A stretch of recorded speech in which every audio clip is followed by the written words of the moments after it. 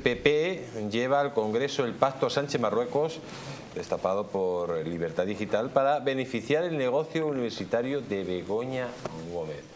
Atención, esto es muy importante porque empieza a abrirse ya el melón de los negocios de Begoña Gómez en Marruecos. ¿Y cuál fue el pacto secreto entre Sánchez y Marruecos para que esta señora tuviera esos negocios, negocietes en Marruecos. Eh, señor eh, Campuzano, estamos hablando de negocios universitarios. Algunas informaciones hablan de otro tipo de negocios de Begoña Gómez. Eh, de hecho, tenía relación mm, muy grande con la principal, la mujer más poderosa de, Marruecos, la misma que está gestionando la entrada de miles y miles de toneladas de productos marroquíes por medio de, me parece que es en las islas de Gran Canaria, el puerto de Tarajal, eh, no sé si en las islas de Canarias, sí, está entrando. Digamos que esto puede ser la punta de iceberg de que salga la verdad de los negocios de Begoña Gómez en Marruecos. Bueno, es que tenemos que recordar desde el primer momento, al final, la relación que tenía Begoña Gómez con el Africa Center, la relación que tenía Begoña Gómez con la ONU en el momento en el cual la paseó su, su marido por, por diversas instituciones cuando apoyó el nombramiento del que llevaba el apartado de, turismo de la ONU. También recordemos, por otro lado, que en su máster trataba con empresas que también tienen relación, es decir, las que le hicieron el software tienen relación con Marruecos y recordemos todos esos viajes que han tenido a Marruecos durante los últimos años, tanto su marido como ella. ¿no? Al final mm, es una relación bastante estrecha y hay más de uno que podría decir, bueno, esto es prospectivo, ¿no? porque va saliendo a medida que se va investigando, porque esa es la excusa que ahora mismo tiene el gobierno para todo. Esto es prospectivo. Bueno, pero es que al final, a medida que uno va investigando en función de los indicios, si encuentra más, no para, simplemente va ampliando. Tenemos que ver hasta dónde llega ese posible tráfico de influencias. A mí no me extrañaría para nada, visto lo visto, la impunidad que ha existido con el caso de la Complutense, visto lo visto, lo que ha existido con el caso Barrabés, no me extrañaría que tuviera negocios con otros lugares. ¿Por qué? Porque al final si quería cobrar más del doble de lo permitido por acceder a su máster, cuando eso no era lo permitido y es lo único que le dijeron que no, fíjate, dentro de todo lo que le han dicho que sí, pues no me extrañaría que tuviera relación con Marruecos. Ahora bien, yo creo que el Partido Popular en esto pues toma un acierto y lo pone en consideración dentro del Congreso porque al final no se trata solamente de lo de Begoña Gómez como particular, con todas sus derivadas que tiene, sino también de poner en manifiesto que las posibles políticas que ha tenido su marido respecto a Marruecos, respecto al Sáhara, respecto a los inmigrantes, respecto a la compra de productos marroquíes, también puede tener algo que ver en esto. Entonces, yo creo que está muy bien que lo traiga el Partido Popular al Congreso porque al final pone el foco donde está lo importante. Totalmente, ¿no? Eh, nada, nuestros telespectadores, el marido de la señora Gómez, el presidente del Gobierno, quien en los últimos años ha tomado determinadas decisiones con respecto al Marruecos, al Sahara y Mauritania. Entonces, bueno, es importante tenerlo, ponerlo en manifiesto, pero aquí... algunas, eh, ya que tenemos también al señor Pablo que, está en el caso Pegasus, eh, algunas eh, informaciones dicen que a Begoña Gómez le roban su teléfono en Marruecos, en una reunión de negocios. Aparte que luego se lo intervinieron. Yo, creo que, que, va por otros lados y hay otras cosas por el medio, pero bueno, tampoco es... ¿Qué cosas hay por tampoco, medio? Tampoco es momento de, de, tirar del hilo que tienen que tirar hablemos, en clave. que tienen que tirar, ¿Qué cosas puede haber por tirar del hilo. No, yo, yo iba a ir al tema, al tema y aquí además don Luis igual ya, ya lo tiene apuntado, ¿no? porque estamos hablando ahí de negocio universitario y hay una pieza del propio caso que se sigue en Plaza de Castilla que tiene que ver con, con la Universidad Complutense y el máster el máster de, la señora Gómez, con lo cual es posible que este tipo de negocio universitario pudiera ser una extensión del propio máster, ¿no? con lo cual tendría sentido eh, tratar de investigar también eh, qué ocurre en, en, Marruecos. Con, y, otra cosa, eh, me está gustando ya mucho cómo se está poniendo el caso de la señora Gómez. Hoy he oído unas declaraciones entre el rector y el vicerrector están empezando ya a jugar al ping-pong. No, fuiste tú, no fui yo, no, yo lo dejé en manos tuyas, no, pero tú eres el que me ordenaste, no, pero tú diste, no, pero tú... O sea, me está gustando ya el ambiente. No sé si la ha palpado usted, don Luis. Y lo que palpo es que se va a comer el marrón el funcionario.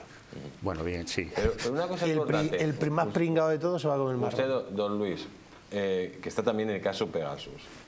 De, momento no se, ha, no se ha hablado de Marruecos, desde el punto de vista jurídico en los tribunales, sí se va a hablar en el Senado, pero ¿se puede abrir el melón de una investigación de lo que pudo pasar, o una pieza separada, de los negocios que pudo tener Begoña Gómez en Marruecos?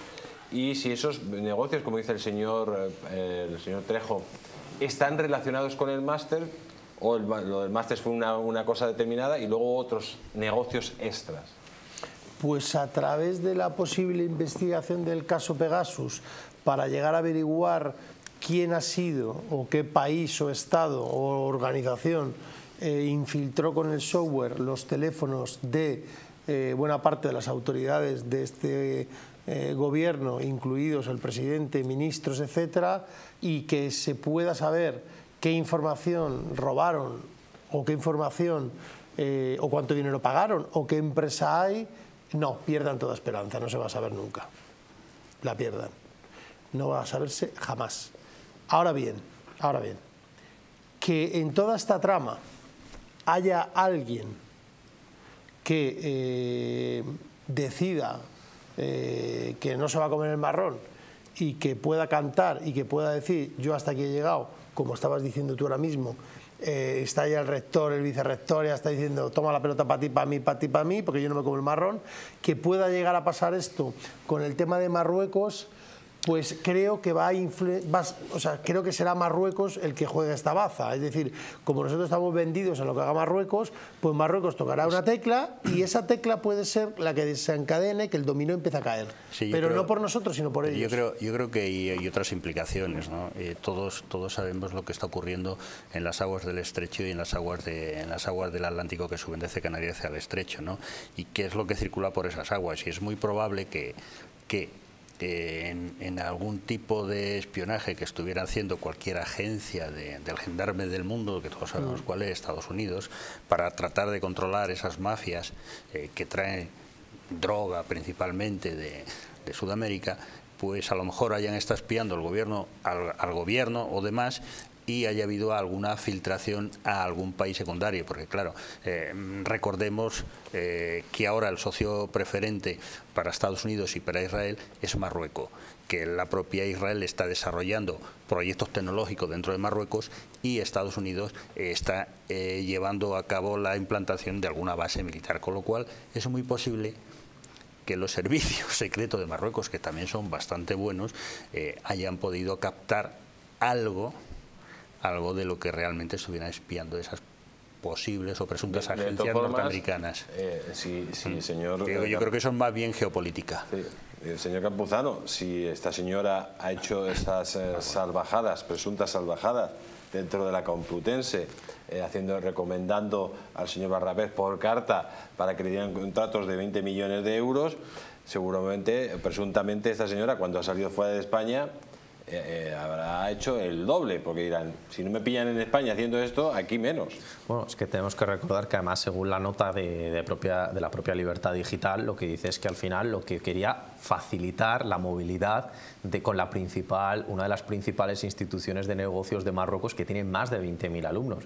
Recordando lo que cobraba por cada máster, simplemente pensemos que pueda movilizar 100, 200 alumnos al año, si le hubiera salido bien, pues multipliquemos cuánto valía su máster por esa cantidad y cuánto se hubiera llevado al bolsillo. Si es que la cantidad era redonda, si es que podía haberse hecho millonario con el máster. que es economista? Pues yo le, yo le digo que en cuatro años probablemente se podría haber comprado más de una casa en Marbella. Yo ahí lo para, que, para que alguno haga la lectura. Bueno, en Marbella se puede comprar, hay casas muy baratas. Bueno, en este país las casas claro, es como todo, es como todo, depende de la zona. Pero aquí lo interesante, y yo creo que ya lo hemos puesto de manifiesto aquí, es que en un momento determinado las acusaciones particulares eh, porque claro, son las que están mm. las que están defendiendo a España en este momento, no eh, pudieran llegar a pedir eh, las cuentas de la propia de la propia señora, señora Gómez, tanto en bancos españoles como fuera de España. que, yo creo que llegarán populares han pedido ya las cuentas de Begoña Gómez fuera pues de España y dentro de España. Están pedidas. Bueno, pues. Y una cosa muy importante que me están me están escribiendo ahora mismo, que es muy importante. Aquí eh, se publicaron en su momento las actas de transparencia de la Complutense que determinaban los presuntos delitos de Begoña Gómez, donde se le decía que no podía hacer actos administrativos, los hizo, donde no podía firmar pliegos, los firmó, que no podía eh, ser ella la, la, directora, sino un codirector, y lo fue durante seis meses. Esa documentación, que fue presentada por las acusaciones al juez Peinado, ¿en qué punto están? Fue aportada por parte de las acusaciones populares, la aportamos al procedimiento a raíz de la exclusiva que hubo aquí en el Mundo al Rojo, en Distrito TV, se aportó al procedimiento y eh, estamos esperando que la universidad pues, aporte digamos, la certificación de que toda esa documentación es eh, fidelina de, de, lo que consta en los servicios de la universidad. Pero es curioso, es curioso que gracias a esa información nosotros supimos que eh, no hubo codirector durante casi seis meses. Entonces, esa cátedra no podía haberse dado porque faltaba un requisito indispensable para que se formalizase, que era el codirector. Pero el codirector no lo hubo y ella ya fue catedrática catedrática del máster de, o catedrática de la transformación social competitiva de la Agenda 2030 y todas las paridas estas que nos cuentan. Eh, la cuestión es, oiga, eh, ¿Esto era un requisito indispensable para la cátedra? Sí, lo era, porque lo dice el reglamento de la universidad. ¿Y entonces por qué no se cumplió? Ah. Entonces, ¿por qué no se cumplió? Esa es la pregunta. Hay señores del puro que visitan Moncloa.